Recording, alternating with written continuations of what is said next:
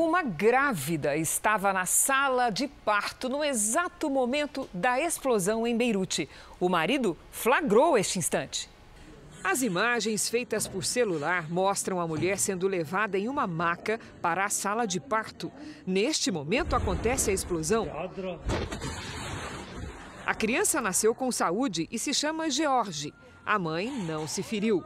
Neste hotel, dois homens trabalhavam quando notaram um incêndio no porto. De repente veio a onda de choque da explosão.